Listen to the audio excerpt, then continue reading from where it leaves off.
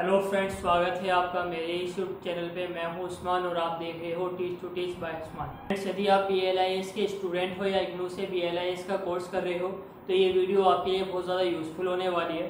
Friends जैसा कि इस वीडियो में हम एग्ज़ाम के पॉइंट ऑफ़ व्यू से अपनी वीडियो को कवर कर रहे हैं तो आज का जो हमारा टॉपिक रहेगा वो B L I S two two one से रहेगा।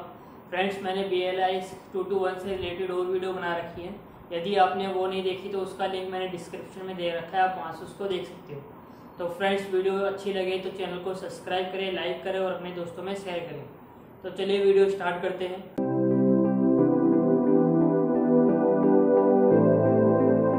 तो आज का जो हमारा टॉपिक है, वो डेलनेट है। डेलनेट की स्थापना के बारे में हम देखेंगे, उसके उद्देश्य देखेंगे, उसकी सेवाएँ देखेंगे और उसकी कुछ गतिविधियाँ देखेंगे। तो सबसे पहले डेलनेट होता क्या है वो समझ लेते हैं। तो डेलनेट की फुल फॉर्म की अगर हम बात करें तो डेवलपिंग लाइब्रेरी नेटवर्क इसको बोला जाता है। इसकी स्थापना कब हुई थी? इसकी स्थापना 1980 1988 में इंडियन इंटरनेशनल सेंटर द्वारा नई दिल्ली में संसाधन सहभागिता तथा नेटवर्किंग पर एक सम्मेलन का आयोजन किया गया। इसी के परिणाम स्वरूप डेलनेट की स्थापना की गई। तो फ्रेंड्स संसाधन सहभागिता क्या होती है, ये मैं अपनी पिछली वीडियो में बता चुका हूँ।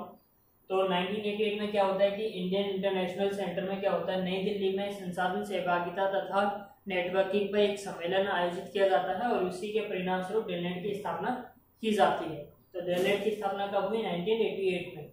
तो फ्रेंड्स, डेलनेट की स्थापना के समय इसका नाम जो था वो दिल्ली पब्लिक लाइब्रेरी नेटवर्क के नाम से जाना जाता था। लेकिन 2002 में इसका नाम बदलकर डेवलपिंग लाइब्रेरी नेटवर्क कर दिया गया है। तो आई होप इसकी स्थापना आपको समझ में आ गई होगी। अब बात करते हैं कि डेलनेट किसके अधीन रह के कार्य करता है। तो डेलनेट जो है वो सूचना प्रौद्योगिकी मंत्रालय के अधीन लेकर कार्य करता है। तो फ्रेंड, जैसा कि हमने देखा डेलनेट की फुल फॉर्म क्या है? इसकी स्थापना कब हुई? स्थापना के समय इसका क्या नाम था? और वर्तमान में इसका क्या नाम है? तो फ्रेंड्स, एक बार इसका स्क्रीनशॉट ले लीजिए।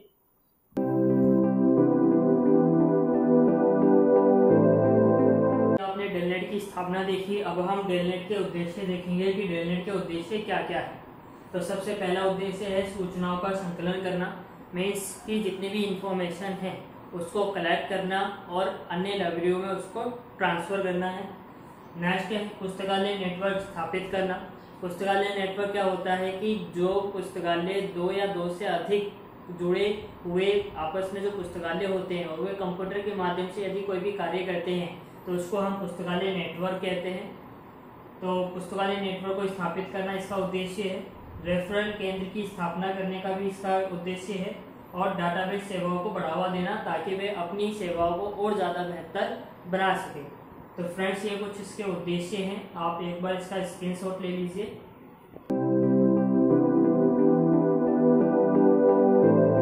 फ्रेंड्स अभी हमने डेलनेट की स्थापना देखी, उसके उद्देश्य देखे। अब कुछ उसकी क्रियाकलाप और सेवाएँ देखते हैं कि डेलनेट कौन कौन सी सेवाएँ प्रदान करता है। तो पहला है मानकीकरण। मानकीकरण में डेलेट क्या करता है कि मार्क सी सी एफ़ और एशिया टू को अपनाता है और इसके द्वारा वह अपनी सेवाएँ प्रदान करता है। सॉफ्टवेयर उपलब्ध कराना नेक्स्ट हमारा है। सॉफ्टवेयर उपलब्ध कराना, जिसके अंतर्गत सी डी एस और भी बहुत सारे सॉफ्टवेयर होते हैं, ये अन्य लाइब्रेरियों को उपलब्ध कराता है। ईमेल सेवा प्रदान करना, ईमेल सेवा के माध्यम से भी ये अपनी सेवाएँ प्रदान करता है। प्रशिक्षीकरण कार्यक्रम को बढ़ावा देना, यानी जो ट्रेनिंग कोर्स होता है, ये डेलनेट भी ट्रेनिंग कोर्स करवाता है जिससे कि उसे जितने भी कर्मचारी हैं, वो बेहतर हो सके और अपनी सेवाएँ वो ज़्यादा से ज़्यादा अच्छी दे सके। तो फ्रेंड्स ये आप एक बार इसका स्क्रीन ले लीजिए।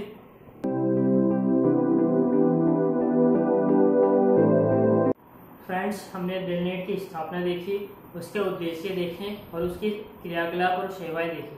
अब डेलनेट कुछ प्रकाशक भी करता है अपने यहाँ से। तो देखते हैं कौन कौन सी प्रकाशक करता है वो। सबसे पहला है डेलनेट न्यूज़लेटर। डेलनेट न्यूज़लेटर प्रकाशित करता है। दूसरा है डायरेक्टरीज ऑफ़ रिपोर्ट। तो ये दो जो हैं, जो ये प्रकाशक हैं, वो डेलनेट के हैं। डेलनेट इनका प्रकाशक करता है। तो फ्रेंड्स, एक और चीज़ आपको याद रखनी है कि डेलनेट के द्वारा कुछ सॉफ्टवेयर भी विकसित किए गए हैं। जैसे कि डेल प्लस सॉफ्टवेयर हो गया, डेल डेव्स हो गया और डेल विंडोज़ हो गया। तो ये जो सॉफ्टवेयर हैं, ये डेलनेट ने विकसित किए हैं और इन सॉफ्टवेयर के माध्यम से वह अपनी सेवाएँ प्रदान करता है। तो फ्रेंड्स आज के टॉपिक में हमने डेलनेट को कवर करा। डेलनेट किसे कहते हैं, ये हमने पढ़ा। उसकी स्थापना कब हुई, ये हमने पढ़ा। उसके क्या क्या उद्देश्य, ये हमने पढ़ा। उसके क्या क्या क्रियाकलाप और सेवाएँ हैं, ये हमने पढ़ा। और उसके क्या क्या प्रकाशक और उसने कौन कौन से सॉफ्टवेयर विकसित किए, ये हमने पढ़ा। फ्रेंड्स आई होप ये वीडियो आपको बहुत पसंद आई होगी और यूज़फुल रही होगी। फ्रेंड्स यदि आपको वीडियो पसंद आए तो चैनल को सब्सक्राइब करें और अपने दोस्तों में शेयर करें लाइक करें। और इसके बावजूद भी अगर आपके पास कोई क्वारीज वगैरह हो तो आप नीचे कमेंट में लिख सकते हो। तो फ्रेंड्स नेक्स्ट वीडियो में मिलेंगे और नए टॉपिक के साथ मिलेंगे। Thank you